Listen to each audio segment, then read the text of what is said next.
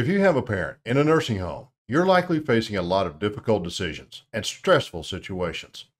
It's natural to feel overwhelmed, but it's important to remember that you have options and resources available to you.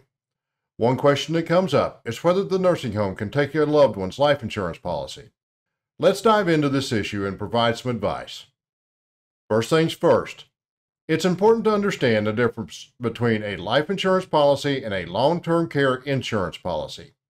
A life insurance policy pays out a lump sum of money to your beneficiaries when you pass away. A long term care insurance policy, on the other hand, helps cover the cost of long term care, such as the nursing home care. Can the nursing home take your mom's life insurance? Let's address this question. The short answer is no, they cannot. Life insurance policies are typically considered an asset that is exempt from being used to pay for the nursing home care. However, there are a few important caveats to keep in mind. One important factor is the timing of when the life insurance policy was purchased.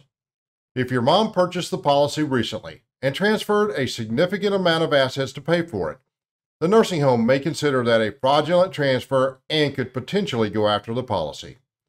Additionally, if your mom has named a nursing home as a beneficiary on the policy, they may be able to claim those proceeds. Finally, if the estate was named as a beneficiary rather than an individual person, it could open the door to claims. If your mom or parent is going on Medicaid, a life insurance policy could be considered an asset. Any life insurance policy that has cash value over $1,500 is typically considered an asset by the Medicaid.